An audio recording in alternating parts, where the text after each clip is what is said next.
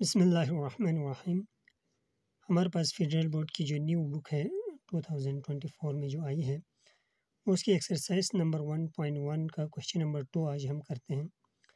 इससे पहले कि क्वेश्चन अगर आपको चाहिए हो तो हमारे चैनल पे मौजूद है, आप वहाँ से देख लें। तो क्वेश्चन नंबर टू कहते हैं कि आइडेंटिफाई द प्रॉपर्टीज़ जस्टिफाइज यानी यहाँ पर कुछ प्रॉपर्टीज़ दी हुई हैं, इनको आपने पहचानना है तो इनके नाम बताना है। तो इसके लिए ये वाला टेबल यहाँ पे दी हुई है तो आपको बुक में से ये टेबल आपको याद करना पड़ेगा।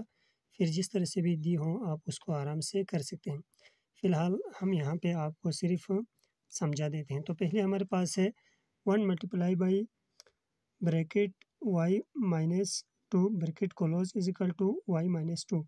अब यहाँ पर अगर आप गौर करें तो आ, कोई चीज़ जो है वन से मल्टीप्लाई खा के फिर वही चीज़ रह रही है।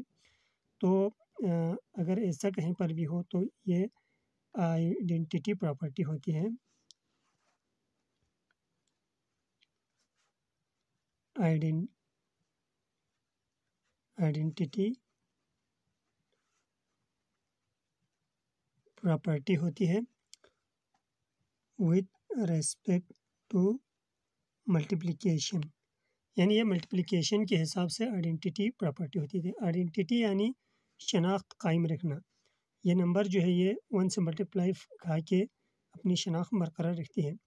बस कोई भी नंबर जो वन से मल्टीप्लाई खा के अपनी शनाख्त बरकरार रखे, वो आइडेंटिटी प्रॉपर्टी होती है। फिर यहाँ पे अगर मल्टीप्लाई है तो वो मल्टी फिर विथ रिस्पेक्ट टू मल्टीप्लिकेशन होती है। इसी तरह से पार्ट नंबर टू की तरफ़ हम बढ़ते हैं। पार्ट नंबर टू में यहाँ पर हमारे पास है zero point two multiply by five और ये वन आ रहा है। तो अगर कोई भी दो नंबर आपस में मल्टीप्लाई खा के वन जवाब आ जाए तो वो उसका इन्वर्स कहलाता है।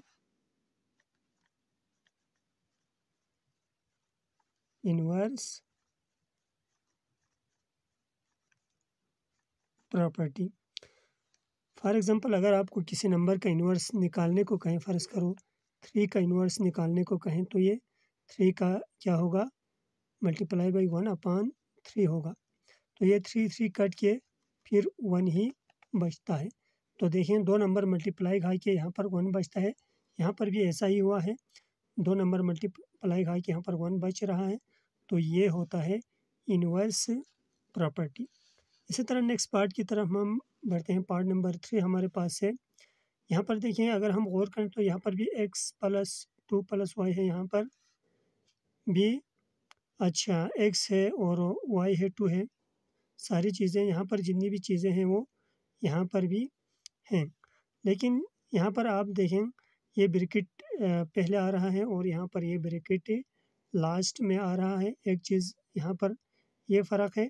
दूसरी चीज़ यहाँ पर जो वैल्यूज़ हैं, आगे पीछे चेंज है तो यहाँ पर जो वाई लास्ट में आ रहा है, वो यहाँ पर वाई पहले आ रहा है। यहाँ पर एक्स प्लस टू पहले आ रहा है, यहाँ पर एक्स प्लस टू आखिर में आ रहा है। तो अगर एक चीज़ का जो तरतीब जो है, आगे पीछे हो कि दूसरी तरफ़ आ जाए तो वह हमारे पास होती है कम्यूटेटिव प्रॉपर्टी कम्यूटेटिव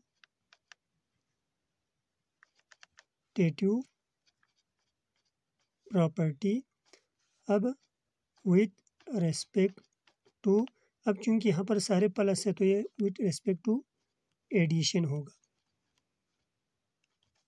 एडिशन इसी तरह से हमारे पास नेक्स्ट पार्ट है पार्ट नंबर फोर यहाँ पर पार्ट नंबर फोर देखें minus three b plus three b तो minus three b plus three b ये कट के ज़ीरो आ रहा है। तो ये क्या होता है? Inverse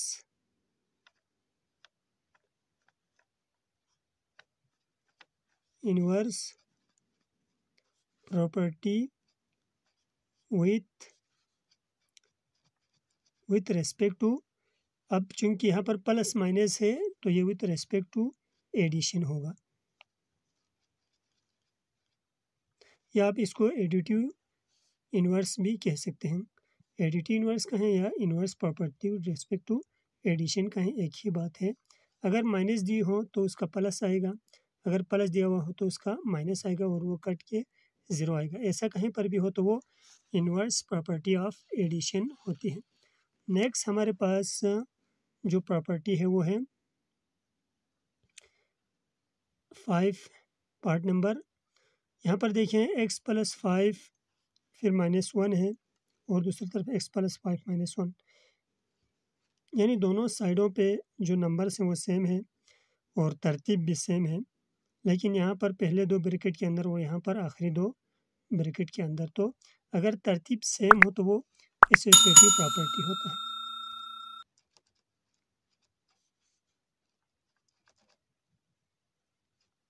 एसोसिएटिव एसोसिएटिव प्रॉपर्टी देखिए एसोसिएटिव प्रॉपर्टी और कमिटेटिव प्रॉपर्टी में एक फ़र्क है कि कमिटेटिव प्रॉपर्टी में तरतीब आगे पीछे होती है, जबकि एसोसिएटिव प्रॉपर्टी में तरतीब सेम होती है। इसी तरह हमारे पास जो लास्ट पार्ट है, वो हमारे पास है minus three into two minus y और दूसरी साइड पे है minus six plus three y यानी यहाँ पर क्या हुआ है? एक नंबर अंदर दो नंबर से मल्टीप्लाई खाया है। तो यहाँ पर देखें थ्री टू ज़ै सिक्स माइनस सिक्स आएगा और यहाँ पर माइनस माइनस से प्लस होता है तो ये three y plus three y आएगा। तो अगर कहीं पर भी इस तरह से कोई नंबर अंदर मल्टीप्लाई खा रहा हो तो वह हमारे पास होता है डिस्ट्रीब्यूटिव प्रॉपर्टी